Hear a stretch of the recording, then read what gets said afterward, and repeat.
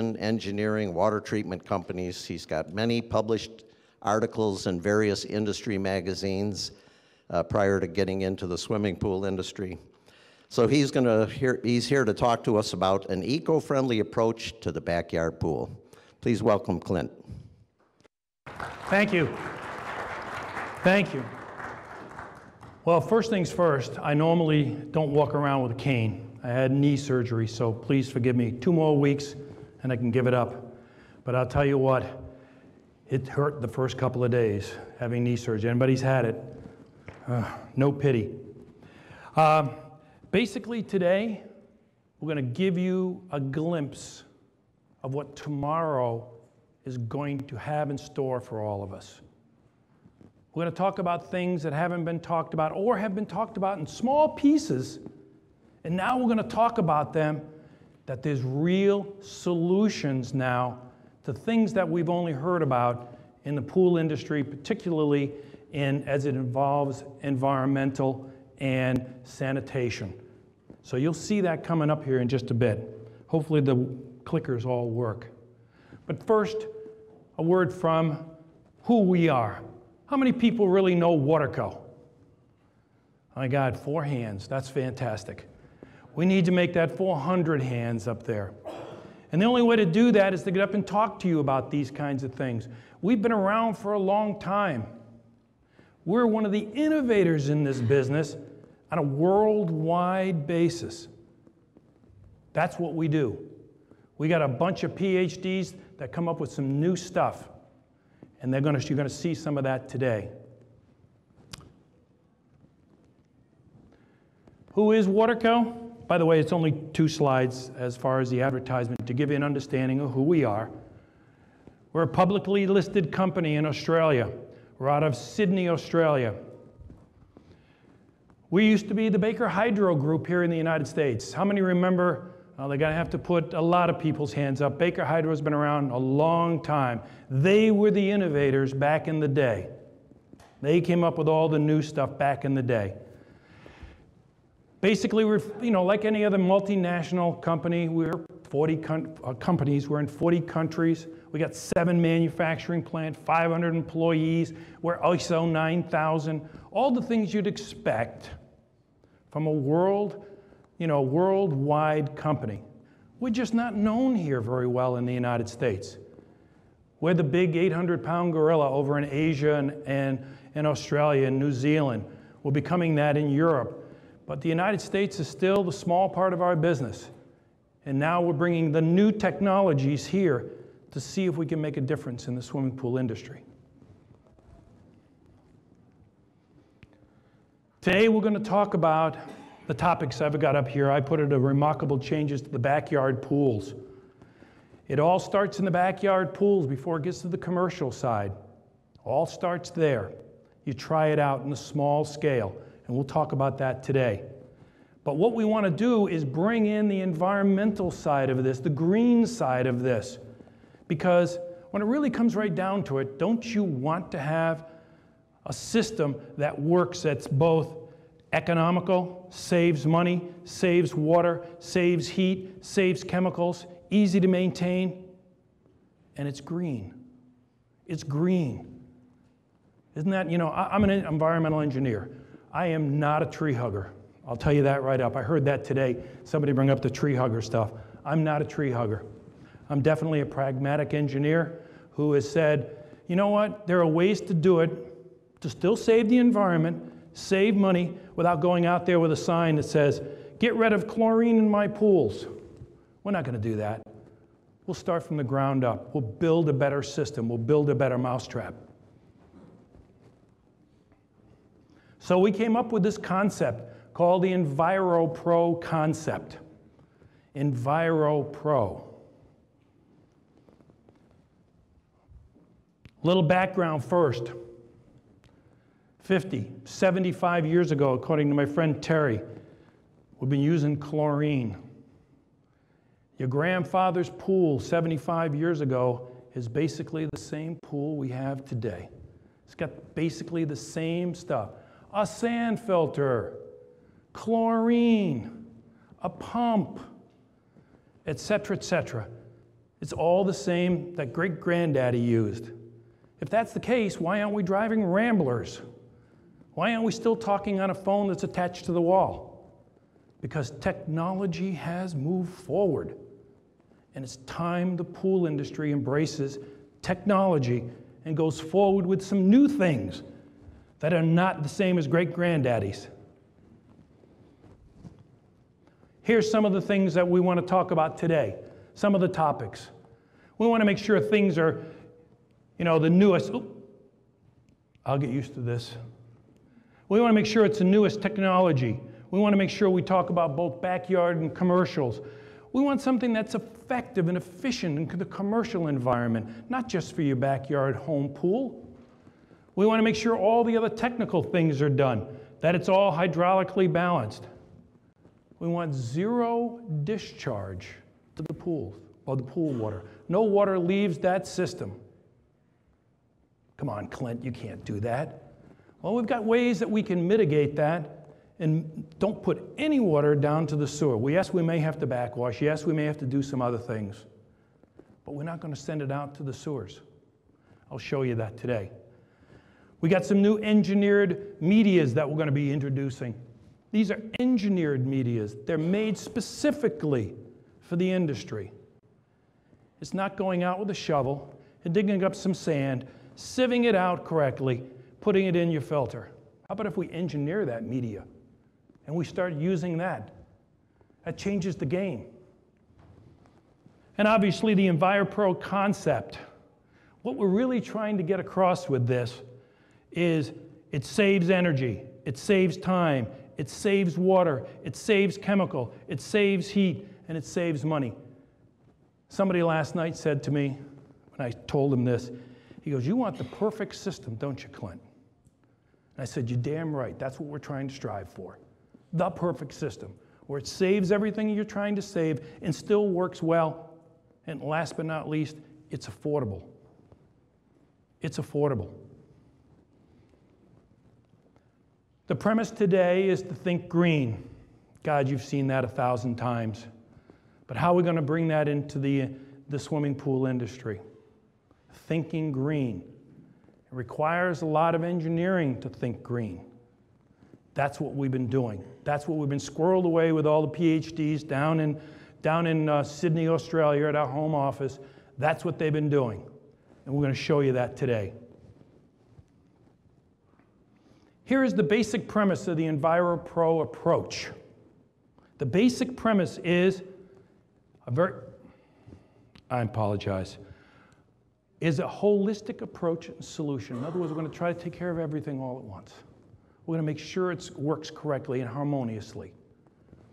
And basically, it's designed to help the environmentally conscious pool owner to save everything, to make it work, make it to work properly, save water, energy, all those good things we just talked about.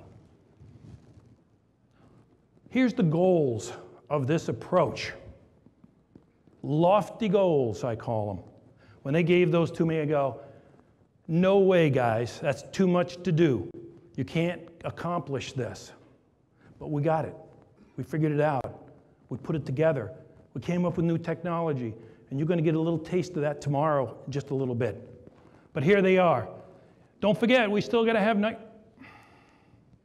We got to have nice, clean, and clear water in our pools. They got to be fully sanitized, easy to use, repeatable, simple maintenance.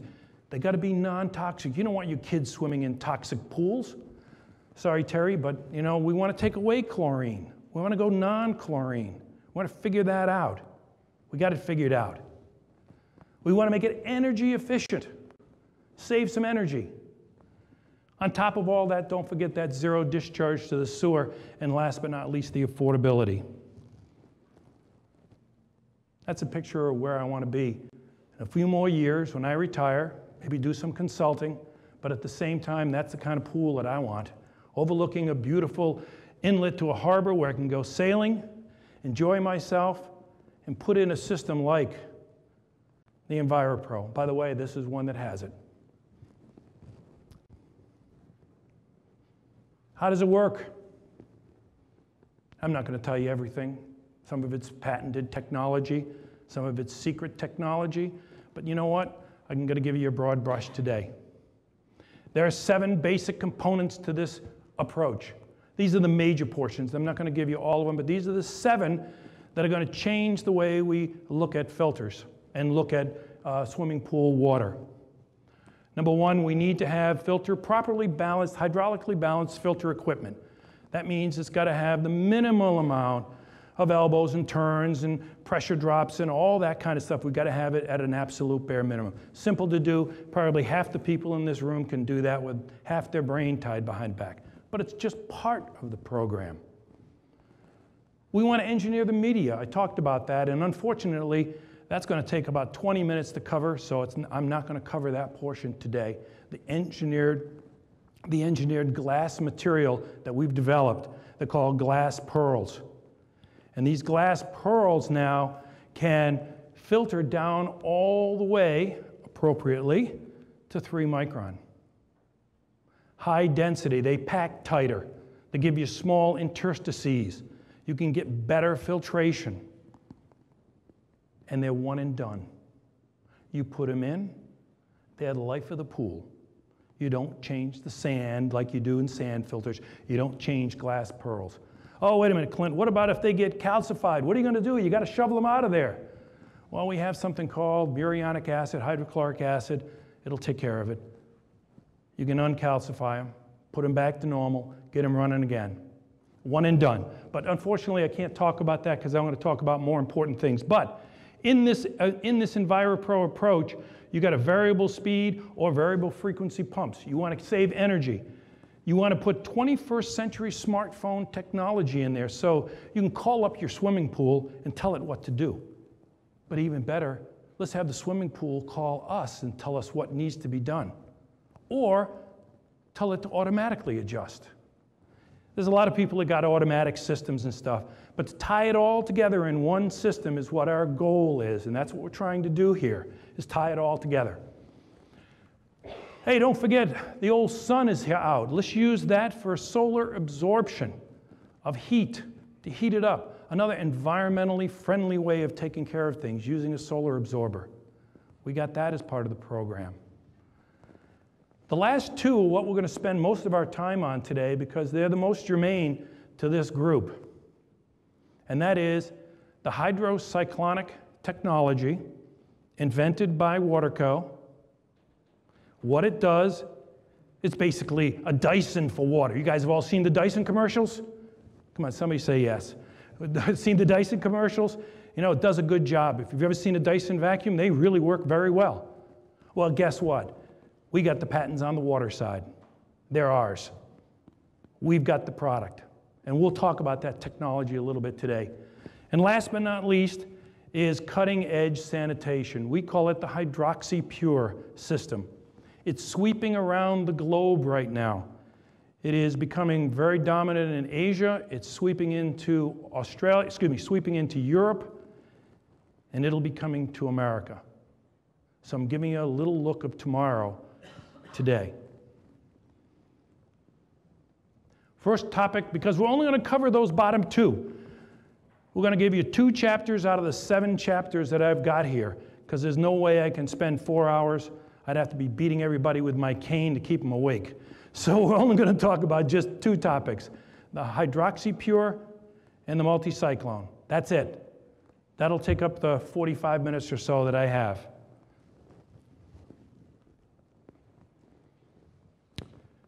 Four years ago, a dad and his kids in Australia were sitting around a pool.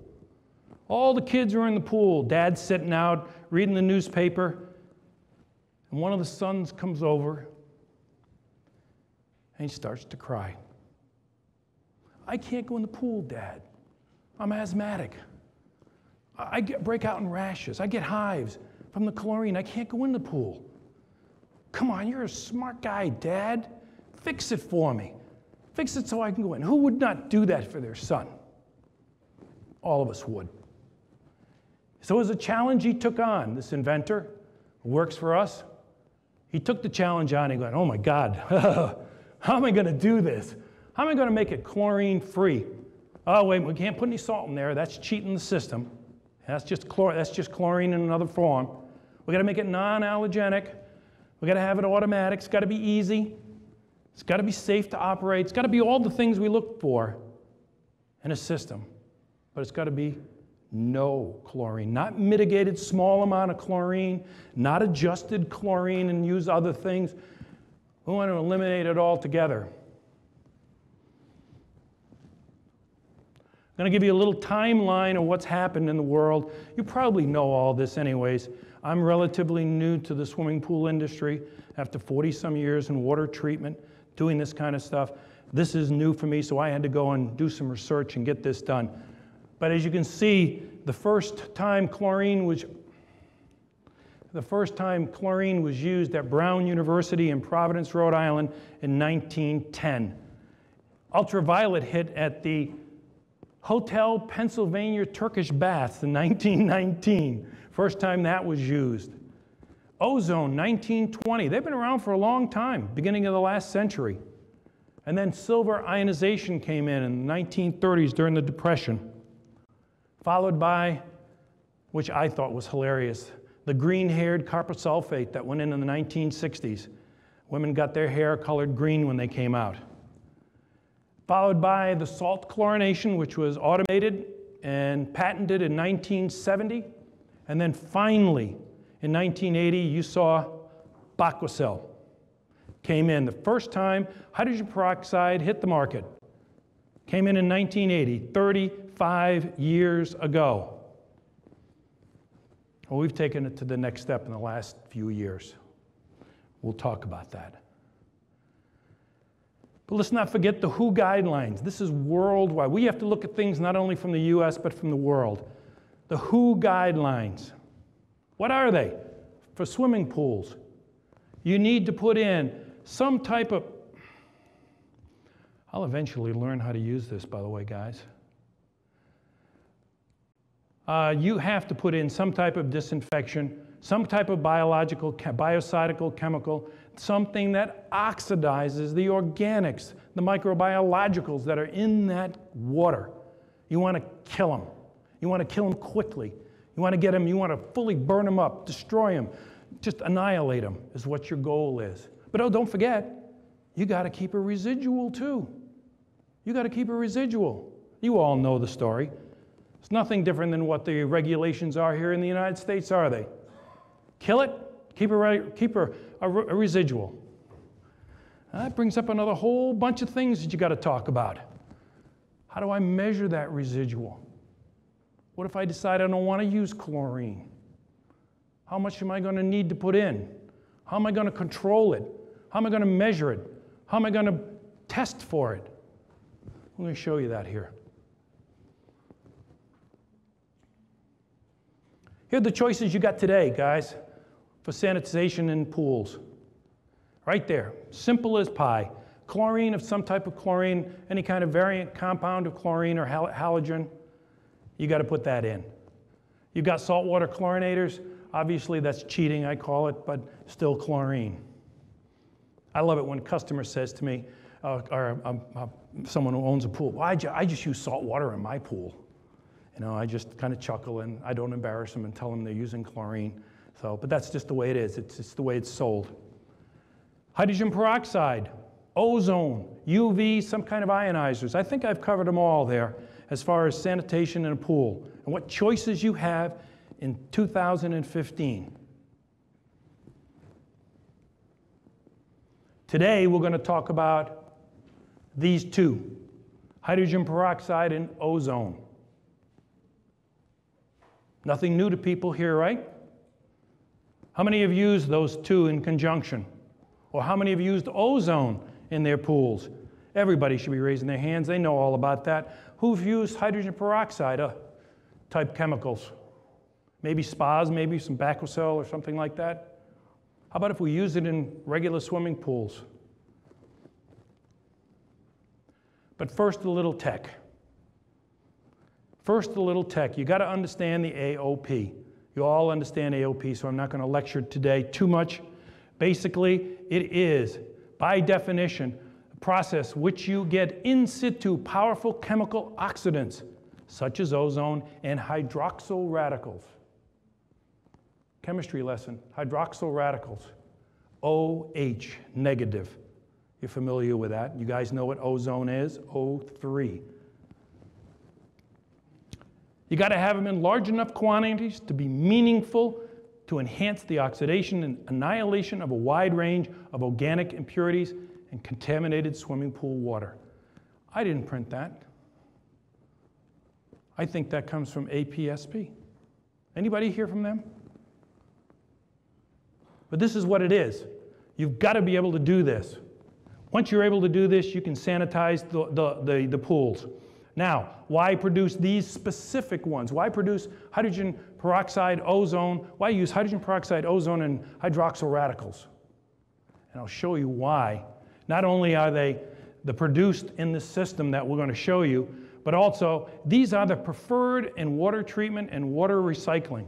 I've been in that for 40 years. It is used regularly in those industries. Why hasn't this industry brought it on board? Crickets. I hear crickets. No answers. The answer is we are going to bring it on board. We are going to put it in the systems. We are going to show that we can use things that have not, people haven't used in the past, and they maybe were really good. We're going to find out. We're going to use them here in the United States. And these are basically the hydroxyl radical, ozone, and hydrogen peroxide. All three in one system, and I'll show you that I keep saying the same thing. We'll show you that. It's coming up in one of the slides. My favorite slide. As an engineer and as a chemist, chemical engineer, you look at these oxidation potentials up here. Where's chlorine? It's at the bottom. It's the worst one. Yeah, it might be cheap, it might be simple. Granddad started it and great granddad started, I should say, we're still using it today. But look at those others that we're going to be talking about in red up there. Look how much more effective they are in sanitation. And we'll, we'll, you'll see sometimes when you start combining some of these, you get a, a synergistic effect where you're getting 30 to 40 times the effectiveness of those versus chlorine. 30 to 40 times. It's my favorite slide, by the way.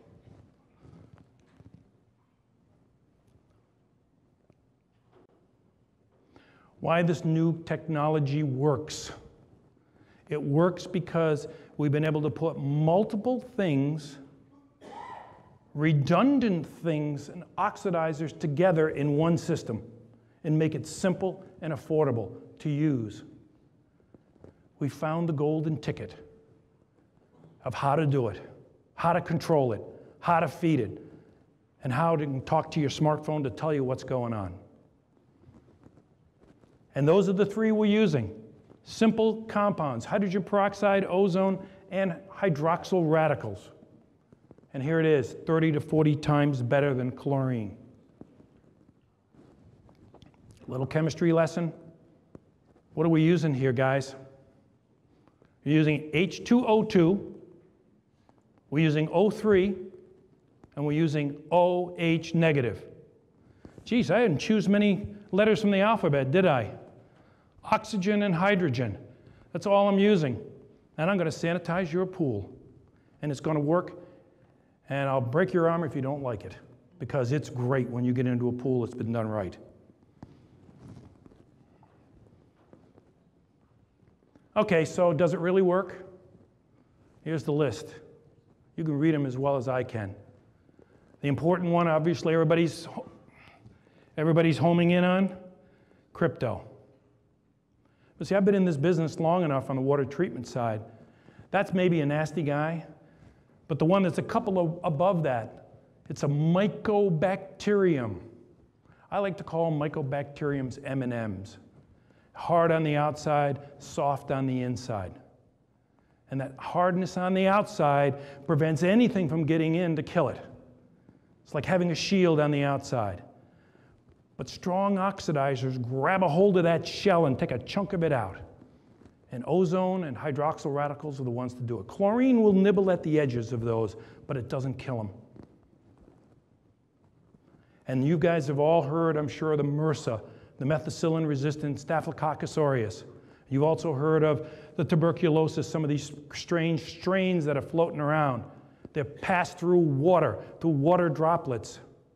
You want to make sure this thing is sanitized correctly. Can you tell I'm a little passionate about this? so we went out and did some field trials. This is just one of them. We could, you know, bore you with all those, but I'm not one of those PhDs that are going to bore you with all those kinds of details. Suffice it to say, suffice it to say, the bad, the bad actors that we went after, Pseudomonas aeruginosa, one colony forming unit per 100 milliliters. Chlorine can't match it unless you start overdosing this thing to beat the band. Look at Escherichia coli, Escherichia coli, your gram negatives, guys that are tough to kill. After treatment of this, it's less than one. We call it uh, non detectable. Stuff works. I'm going to tease you with this picture. Hopefully, you can get the perspective here. It's looking into the water. The reason I put it up there is to show you that the use of these chemicals in this process oxygenates the water. Think about that. Oxygenates the water. It doesn't chlorinate the water. What goes through your skin? Any chemical that's in the water is going to go through your skin, whether it's chlorine, bromine, or oxygen. What do you want in your body? Why do you think the athletes won't have chlorine pools? Because the chlorine affects their performance. The Olympians won't have it, neither will the major leaguers. They want ozone, they want hydro- hydrogen peroxide. They don't want to have chlorine in their pools. It's a damn good reason why they don't want to. Simple design, that was one of the criteria, right? We had to make it real simple. We had to make sure that we could get it done in a reasonable way. So we've done it the way traditional, traditionally everybody does it. We got a pump. We've got something called a dynamic injector, which we'll show you in a minute, a multi-cyclone, a standard filter, some type of heating, some type of chemical dosing it back to the pool and send it round and round again. Nothing special there. Nothing you haven't already seen. I've been keeping my premise. My premise is green technology and I'm keeping to it. I'm sticking with it. We haven't done anything but oxygen and hydrogen, water. That's all we've done. Let's talk about how we generate this stuff. Okay, we got, a, we got hydrogen peroxide. We can buy that anywhere, right? It's not the same hydrogen peroxide your daughter uses to bleach your hair. You certainly don't want to put that in. Why? Anybody know why? The cheap stuff is cheap because it has stabilizers in there. And those stabilizers have got something that help to grow bacteria, food called phosphates. They chew on that stuff and grow and multiply. You do not want to use the wrong kind of hydrogen peroxide because of stabilizers in there. You'll be growing bacteria. But use the right type, it'll work. Ozone, you need to create that. You got to have some type of automated dosing. You got to have some disinfection measurable residuals. We'll talk about that. And this project, this process is not new. This has been around for 100 years or more. It's called the peroxone treatment process, PTP. How many of you have even heard of that? Not a single. We want to teach you that because it's the 21st century. Again, very simple interaction. You're going to take and you're going to put in hydrogen peroxide here into the system, into the pool. Out of the pool comes the water. You put in ozone into the system. You go through a multicyclone, which you'll talk about. You've got po powerful oxidation. It gets filtered out, and around it goes with more hydrogen peroxide, around and around. Very simple system. I'm going to give you ozone at a glance because I know I'll run out of time if I don't. You guys are all familiar with ozone, so I don't really need to give you too much of a knowledge on that, other than it's a powerful oxidant. It's going to rip the sides, rip apart any kind of organic that's in there, whether it's microbiological or just organic material. And it does, it's not only an oxidizer, which you remember we read in the WHO diagram, WHO, uh, um, uh, the WHO definition. It had to be an oxidant and it's got to be a disinfectant. And we're following that with that this is both. And it works just like any other oxidant. It's going to tear a hole in the side of bugs. It's going to, uh, if you got chlorine in the pool, it's going to take your chlorine out. It's going to oxidize that chlorine. So be careful if anybody's using ozone and chlorine. You're going to lose some of that. You're going to get, it's not going to be as effective. Chlorine will still work, but you may have to put a little bit more in. Obviously, any kind of iron, manganese, copper, any water and chemicals in there, chemicals in there, again, the water chemistry will be able to precipitate them out and take them out, making nice, crystal clear water. And obviously, it also uh, oxidizes the organics and makes them precipitate. And one more, some of the benefits, it destroys just about everything it comes in contact with. Does a great job on viruses, does a great job on bacteria. Obviously, there's no odor because it does break that down. You won't get any chloramines by using ozone. So you think maybe I'm selling ozone here? Okay, thank you. I don't know if I'm going to make it. Uh, you're going to be using it in combination. We've got a, a hydroxone. The hydroxone generator of ozone not only generates ozone, but because we use a dual wavelength style that we've got a patent on, it not only does that, but it generates hydroxyl radicals at the same time. You're getting both of them you get a two for one because it's using a dual wavelength. Not been done. I talked to a couple of the guys around here. I don't know if any of the Delta people are here, but I asked them, they don't, they don't, you don't make that. So it's really a new technology we're bringing to this industry to be able to do it two for the price of one. And it acts just like the sun. The sun itself produces ozone and hydroxyl radicals. So what we did, we copied what the sun does. The sun produces them, let's figure out a way to do it here on Earth. And we did it. We've got it with the dual wavelength UV. The UV is what creates the ozone. Regular UV can be affected when it creates regular, like coronal discharge UV, can be affected by temperature and humidity. This one can't. The dual, ozone, the dual one cannot be affected by temperatures or humidity. It's going to produce it constantly, regardless of the temperature humidity. You're going to get the same today, you're going to get the same tomorrow, and you don't care what happens to the environment around you. The beauty of this. And by the way, there's no moving parts. What does it do? It produces pure ozone. Ozone is not produced purely through UV. UV produces nitrous compounds and other compounds. That if you use it for disinfection and creating ozone, you're going to put those in the pool. The dual, the dual wavelength one does not produce that. It produces only pure ozone. Its output is constant because it's not affected by Come on, Clint, halfway through, you're still not pushing the right button. It's not affected by temperature, humidity. It's in one system that produces both uh, ozone and hydroxyl radicals.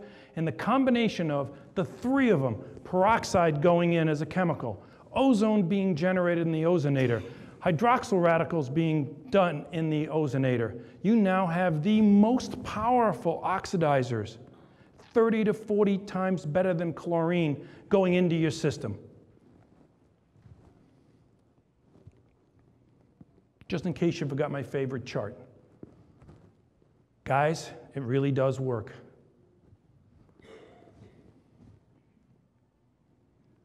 Here's a little thing that tells you don't use standard ozone, excuse me, don't use standard UV to create your ozone. And the reasons why are very simple.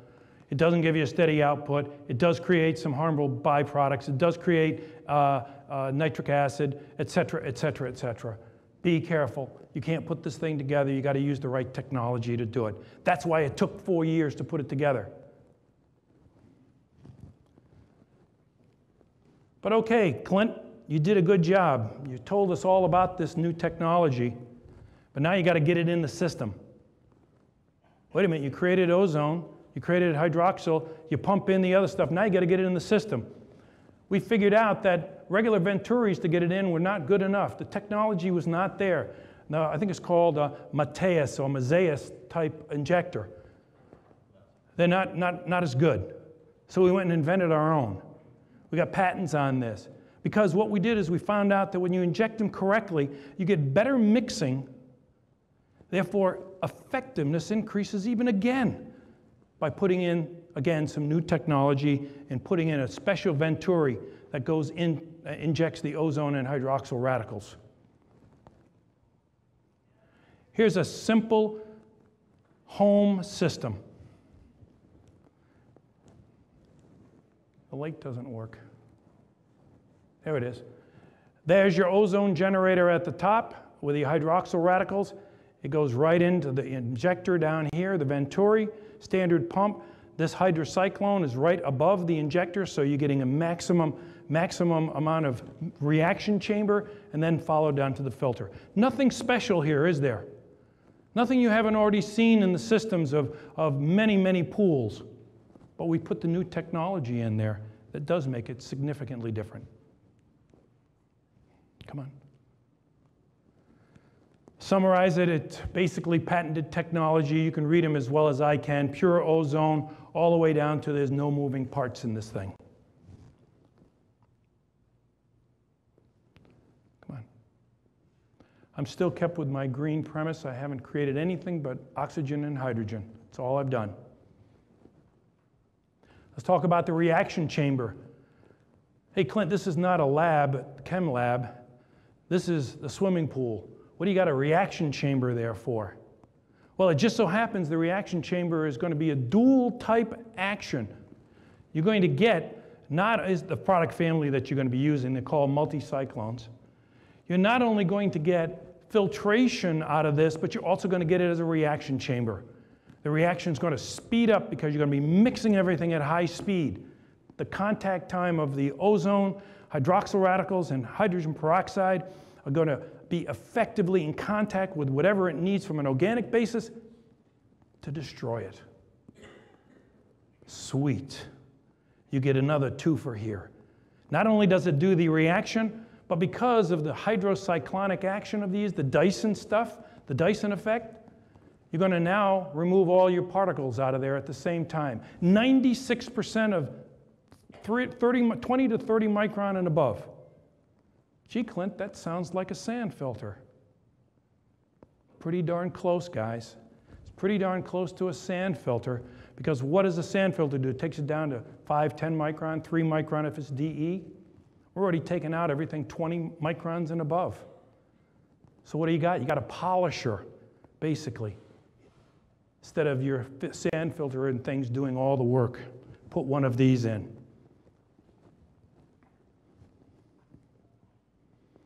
So again, it's do, you get two for one. You get, you get the um, reaction chamber, which mixes up this, and I'll show it to you in a little animation here just a second. Here's a cutaway, just to give you an idea what it looks like on the inside. I've had a lot of people stop by the booth outside.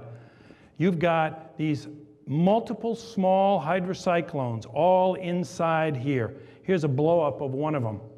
And what they do is they spin that water extremely fast. The faster it spins, the more debris that's removed, the more particulate that's removed. As opposed to putting a big old cyclone on there that's going to spin like that, velocities are too low. Velocities are really high here. That's why you get high efficiency. Another patented product. This doesn't want to work all the time. So we had it tested at NSF. That's all the results of NSF. Key do you want to look at is right here, is right here. 30, 20 to 30 mic, 20, 30 to 40 microns, 96.8 removal of all the particulate. 96.8% of all the particulates removed. And there's no moving parts. There's nothing to replace. There's no media in this. It's all done through a new technology.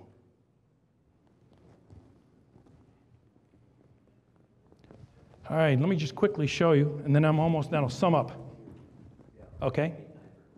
Okay, good enough. This is just a start of showing you a little animation here of how this product works. You can start to see the water comes out of the pool, through the pump, up through the product, and out, and then through the filter. Simple, right? Come on, next slide. Now, this one here, what we want to see is, we want to see how it works. You can start to see the dirt coming up here. It goes to the side. I don't know if you can see my mouse. No, you can't. It comes up. It comes up through the center, tangentially out, starts to spin. As it spins in here, the velocities increase, just like a tornado. On the outside, it's high, uh, low pressure, excuse me, high pressure. On the inside is low pressure. The particles go to the outside. The inside, the water stays clean. If I move this forward a little bit more, you can start to see what it does. You start to see the spin. And out of the center, up to the center of it, goes the clean water.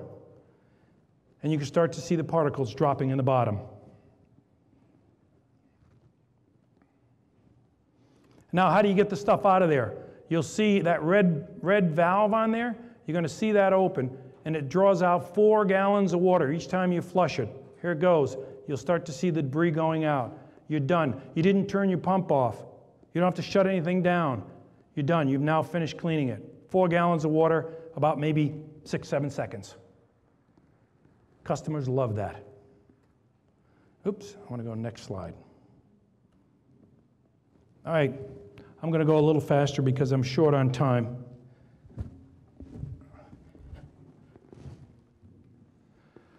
Basically, this is easy to install, guys. You can do it on a standard pool. You don't need to do anything special. It works the same way I've told you before. You've injected the ozone, you've gone and reacted every, everything, you have put it through the powerful oxidizers, you've filtered it, put more peroxide in, and around it goes. Here's a simple diagram of how the system is set up for those who like those kinds of diagrams. Quite simple. Nothing different than a standard setup, except you've got in the center of this, you have the controller. The controller controls the whole thing. Come on. Standard operating set points, no different than any other balanced pool. You're not doing anything special here, guys. Give me a standard balanced pool and just change to this. Keep your residuals of peroxide between 100 and 150, and you've got yourself a system that's going to be sanitized to the max. All right, how much does it cost? I'm not getting into the dollars and cents, but you're looking 20 to 30% more on your chemicals when all is said and done. Hell, if they're spending 600 to $1,000 for a backyard pool, you what are you talking? A few hundred bucks. And you've now got it so that it's going to feel like swimming in, in fresh water. I like to call it champagne because of all the oxygen that's in the water. It's bubbling. Us guys, we end up with little bubbles on, our, on the hairs of our legs from all the oxygen in the water.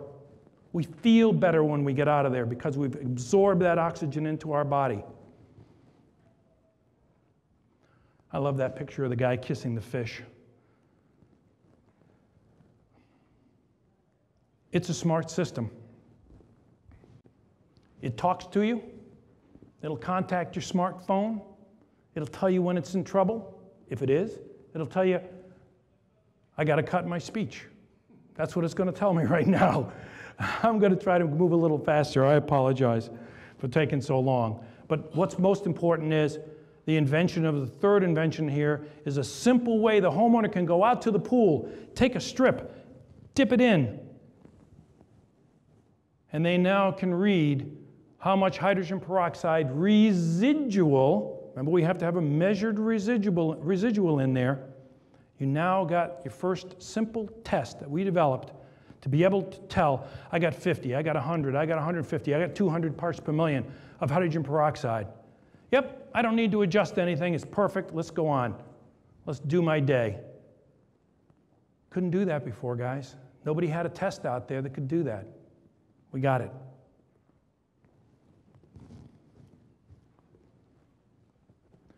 Again, make sure you got a balanced pool, gentlemen. Make sure your phosphate levels are low. We measure everything with ORP. You guys are very familiar with ORP, I'm sure, but we figured out which ORP settings we got to have. And it looks like for a 15,000 gallon pool, we typically have to have an ORP between 450 and 550 millivolts. And here is your, you guys have seen this, I'm sure, where you've got the reduction of all your, uh, all your inactivation goes on as you get, here's your 500, here is your time it takes. I know it's a lot techie stuff, guys. Please, I hope I didn't bore you too much with this stuff, but there was a lot of research that went in this because it's so exciting of a new technology. I'm going to sum up. Sorry, I'm skipping these. By the way, this will be available. You sure I don't have more time, Terry? I'm going to sum up at the back end. I do have to tell you that China beat us here. China China's okayed this for commercials. Donald Trump's right, if you've heard him speak. China's beating us at everything. We got to start getting get on the ball here. We got to bring in the technologies. They're embracing it. The People's Republic of China, gentlemen, the communist government is putting it in because they think it's a great new technology. We can't even get it in the door. We got too many regulations. I did make it to the summary. We got a thousand installations worldwide. We're doing commercial installations, not here in the United States. We're doing water features. It is sweeping around the globe, and we will be the last one, unfortunately, to get it here in the United States. So, why am I speaking about backyard pools when I should be talking about commercial here at this? Is because where does it start? It starts in backyard, it upgrades to the commercial. You can update it, you can upgrade it. it. You get rid of the chlorine, and the small scale can be upgraded to the large scale. And with that, I think we've held true to our green premise. And I do appreciate Terry's perseverance here with me, taking extra time. I didn't realize it was quite as long, but I do get pretty passionate about this stuff. I thank you very Thanks, much. Clint. Sorry, we won't have time for questions because. You sure uh, it's not a you can- microphone issue here with this? But you can talk to Clint afterwards and uh, if you have questions, and uh, we got to let the next session get ready to come in here. Thanks for attending. Thanks again, guys. We're right outside the door.